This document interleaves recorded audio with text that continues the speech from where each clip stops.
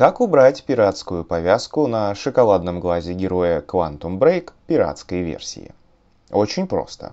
Нужно скачать вот этот трейнер, ссылку на который найдете на моем сайте, и положить его в папку с игрой.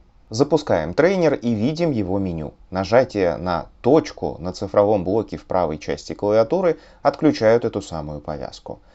Запускаем игру. В меню игры до загрузки уровня нажимаем сначала на Numlock, а потом точку на цифровой клаве. Все, повязка пропала. Не забудьте, что Numlock должен гореть, иначе вместо точки будет нажиматься Del.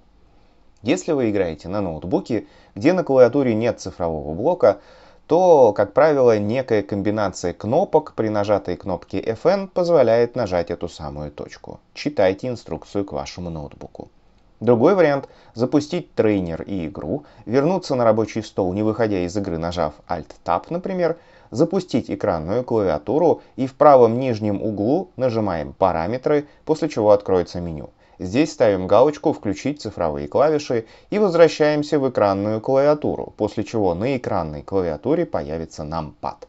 Включаем Numlock, потом нажимаем точку мышкой, возвращаемся в игру. При загрузке уровня повязка пропадет.